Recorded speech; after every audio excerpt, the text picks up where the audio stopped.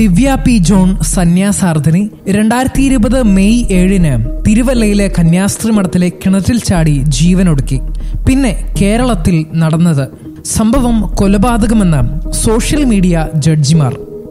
മൃതദേഹം കിണറ്റിൽ നിന്ന് പുറത്തെടുത്തപ്പോൾ ചുരിദാറിന്റെ ബോട്ടം ഇല്ലായിരുന്നെന്ന് വ്യാജ പ്രചരണം. സാരിയാണ് ധരിച്ചിരുന്നതെന്ന് ദൃക്സാക്ഷികൾ. മണിക്കൂറുകൾ നീണ്ട ചാനൽ ചർച്ചകൾ. മഠത്തിലെ കിണറുകൾ മൂടണമെന്ന് പരിഹാസം. മൃതദേഹം പുറത്തെടുക്കുന്ന ദൃശ്യം നിയമവിരുദ്ധമായി പുറത്തുവിടുന്നു. വനിതാ കമ്മീഷൻ സടകുടഞ്ഞ് എഴുന്നേൽക്കുന്നു. ഉടൻ എസ് പി അന്വേഷിക്കണമെന്ന് നിർദ്ദേശം. സ്വയം പ്രഖ്യാപിത മനുഷ്യാവകാശകന്റെ പരാതി. കേട്ടപാടെ ഡി ജി പിയുടെ ക്രൈംബ്രാഞ്ച് അന്വേഷണ ഉത്തരവ്. സാമൂഹ്യ മാധ്യമങ്ങളിൽ സന്യസ്ത്രയും അവരുടെ കുടുംബാംഗങ്ങളെയും അവഹേളിച്ച് അശ്ലീല സാഹിത്യകാരന്മാരുടെ വിളയാട്ടം. പുരോഹിതരെ സംഭവവുമായി ബന്ധിപ്പിക്കാൻ കള്ളക്കഥകൾ. ആരെയും കന്യാസ്ത്രീകളാക്കാൻ വിടരുതെന്ന് ഉപദേശം.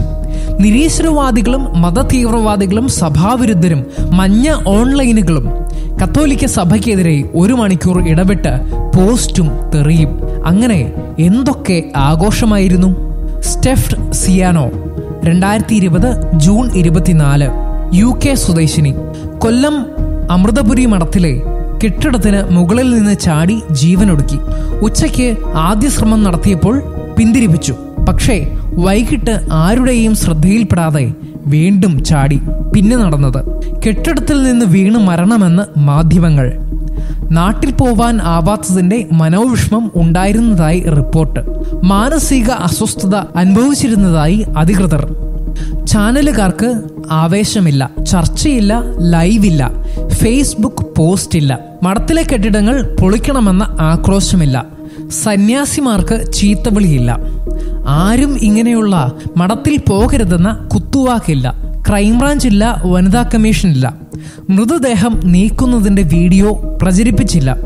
ധരിച്ചിരുന്ന വസ്ത്രത്തെ ചൊല്ലി തർക്കമില്ല. കാരണം ഇവിടെ മരണം ചാടിയ ആളുടെ മനോനിലയുടെ പ്രശ്നമാണെന്ന് നാം തിരിച്ചറിഞ്ഞു. നല്ലത് മനുഷ്യ മനസ്സ് ഒരു പ്രഹേളികയാണ്. വ്യക്തികളുടെ മാനസികാരോഗ്യമാണ് ചർച്ച ചെയ്യപ്പെടേണ്ട വിഷയം.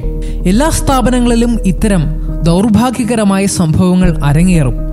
അന്വേഷണം നടക്കുന്നതിന് മുമ്പേ ആ സ്ഥാപന അധികാരികളെ കുറ്റക്കാരായി വിധിക്കുന്നതും ചിത്രീകരിക്കുന്നതും അപമാനിക്കുന്നതും ഉചിതമല്ല. ഇല്ലാ കഥകളുണ്ടാക്കി സോഷ്യൽ മീഡിയയിൽ വിതറുന്നതും മര്യാദയല്ല. പക്ഷെ കേരളത്തിൽ കത്തോലിക്ക സ്ഥാപനങ്ങളിലാണെങ്കിൽ ജീവനൊടുക്കിയവരുടെ മനോനില പലരും പരിഗണിക്കാറില്ല.